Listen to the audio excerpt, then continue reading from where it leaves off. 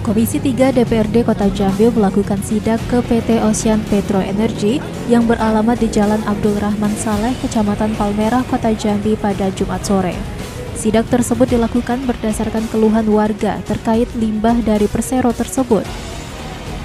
Saat didatangi oleh Komisi 3 DPRD Kota Jambi, pihak PT Ocean Petro Energy enggan membuka pintu hingga anggota DPRD beserta pihak OPD terkait yang mengikuti sidang tersebut hanya bisa menunggu dari luar pagar.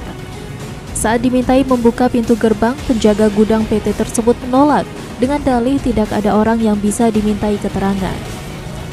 Ketua Komisi 3 DPRD Kota Jambi Umur Paruk mengatakan, Sebelumnya pihak DPRD Kota Jambi telah menyurati pemilik PT Ocean Petro Energy tersebut, namun sang pemilik malah mangkir dan tidak memenuhi panggilan. Faruk mengatakan akan berkoordinasi dengan lurah, camat, babinsa, dan babin kamtipmas untuk terus melanjutkan persoalan tersebut dengan kembali mengirimi surat kepada pihak PT Ocean Petro Energy untuk yang kedua kalinya.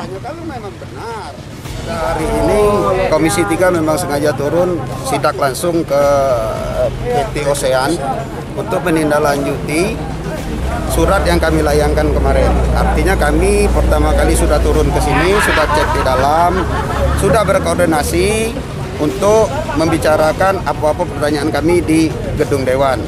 Kita surati ternyata tidak hadir para pemilik ataupun uh, yang mewakili. Nah, pada hari ini kita sengaja sidak dengan menurunkan beberapa OPD terkait termasuk juga Satpol PP untuk masuk ke dalam. Tapi kita pun tidak tidak diberikan waktu untuk dapat masuk ke dalam. Hingga saat ini pihak PT Ocean Petro Energy masih belum memberikan keterangan apa pun sehingga menimbulkan dugaan adanya aktivitas ilegal di dalam gudang yang merupakan transportir bahan bakar minyak industri. Lilis Karlina, Cek TV melaporkan.